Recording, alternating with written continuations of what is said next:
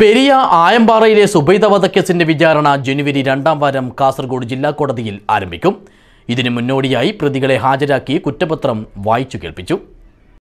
മധൂർ പട്ല കുഞ്ചാർ കോട്ടക്കണിയിലെ അബ്ദുൽ ഖാദർ പട്ല കുതിരപ്പാടിയിലെ ബാബ അസീസ് മാന്യയിലെ ഹർഷാദ് എന്നീ പ്രതികളെയാണ് കോടതിയിൽ ഹാജരാക്കി കുറ്റപത്രം വായിച്ചു കേൾപ്പിച്ചത്.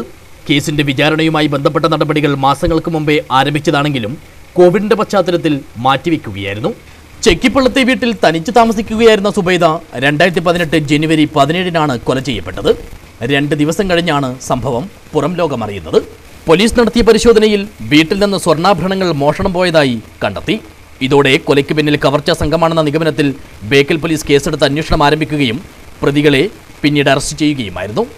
അന്നത്തെ Bekal C I V K വിശ്വംഭരനാണ് കേസിൽ അന്വേഷണം പൂർത്തിയാക്കിയ ശേഷം ഹോസ്തൃക് ജുഡീഷ്യൽ ഒന്നാം ക്ലാസ് മജിസ്ട്രേറ്റ് കോടതിയിൽ ആയിരത്തി അഞ്ഞൂറ് പേജുള്ള കുറ്റപത്രം സമർപ്പിച്ചത്. ഒൻപത് സാക്ഷികളെയും ഉൾപ്പെടുത്തിയിരുന്നു. അറുപത് തൊണ്ടി മുതലുകളും ഹാജരാക്കി. കവർച്ചാ മുതലുകളും കടത്താൻ ഉപയോഗിച്ച രണ്ട് കാറുകളും പോലീസ് കണ്ടെടുത്തിരുന്നു. കേസിന്റെ ഫയലുകൾ വിചാരണക്കായി ജില്ലാ കോടതിക്ക് കൈമാറുകയായിരുന്നു.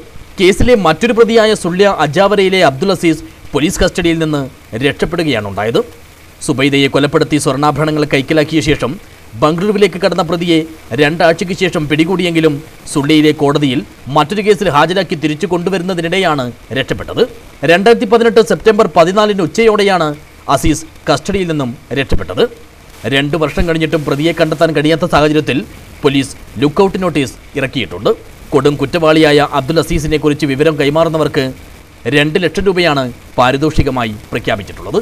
News bureau Uduma.